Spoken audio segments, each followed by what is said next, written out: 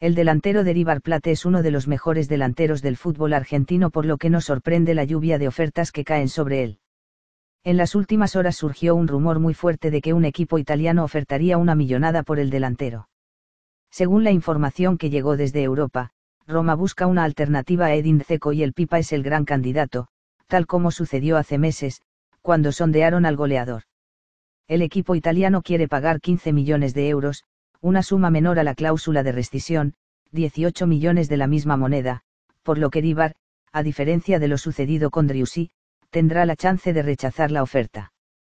15 millones de euros por Lucas Salario ofrece la Roma, la cláusula de rescisión que tiene su contrato con Rivar es de 18 millones de euros pic Twitter con barra R16 o 61XS7R. Además, pensando en el Mundial de Rusia 2018, a Alario no le convendrá ser solo una alternativa en ataque, ya que podría perder peso en la consideración de Jorge Sampaoli. A esperar por la decisión del jugador.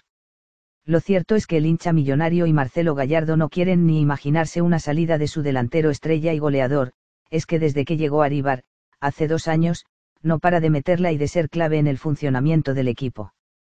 Lucas Alario lleva 70 partidos disputados con la banda, donde ya convirtió en 40 oportunidad y levantó tres copas, Libertadores, Recopa y Copa Argentina, siendo goleador en cada una de esas finales.